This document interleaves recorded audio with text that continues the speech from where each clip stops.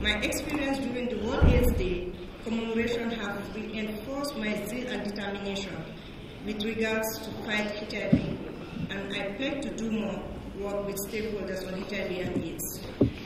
In particular, I remain committed to the cause of preventing the transmission of HIV from mother to child